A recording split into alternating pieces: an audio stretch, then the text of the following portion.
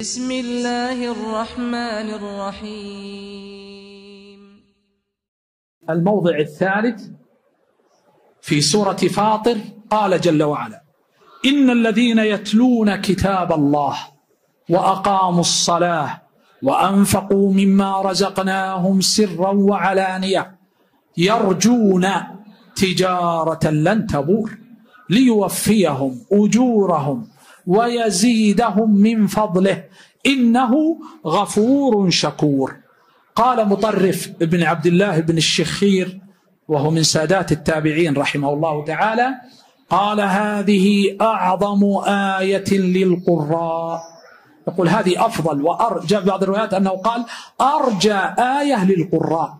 يعني من أنعم الله عليه بنعمة القرآن حفظ القرآن تلا القرآن تدارس القرآن علم القرآن عمل وهذا هو التاج عمل بالقرآن الكريم. هذه يناله هذا الفضل العظيم.